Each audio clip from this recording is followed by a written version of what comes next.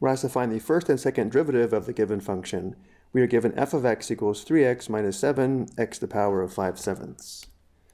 The first derivative, f prime of x, is equal to the derivative of 3x with respect to x, which is 3 times 1 or 3, minus the derivative of 7 x to the power of 5 sevenths with respect to x, which is 7 times 5 sevenths times x to the power of 5 sevenths minus 1. Let's go ahead and simplify. f prime of x is equal to 3 minus, multiplying here, notice how the sevenths simplify to 1, which gives us 5 x to the power of 5 sevenths minus 1 is negative 2 sevenths. Again, 5 sevenths minus 1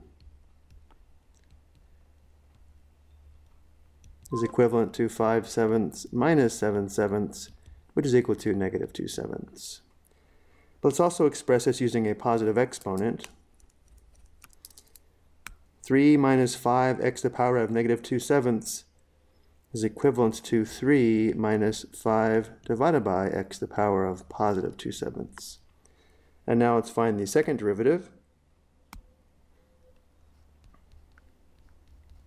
Which is equal to the derivative of 3 minus 5x to the power of negative 2 sevenths with respect to x. The derivative of 3 with respect to x is 0.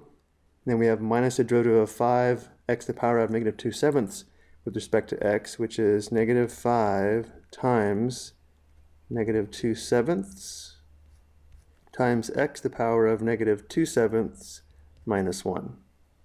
Simplifying, we have f double prime of x is equal to, nothing simplifies here, we just have positive 10 sevenths, x to the power of negative 2 sevenths minus 1 gives us x to the power of negative 9 sevenths. And again, negative 2 sevenths minus 1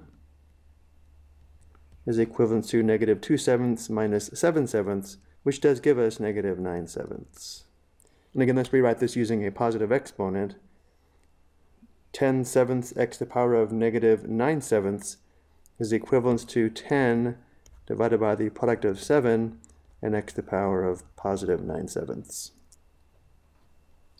I hope you found this helpful.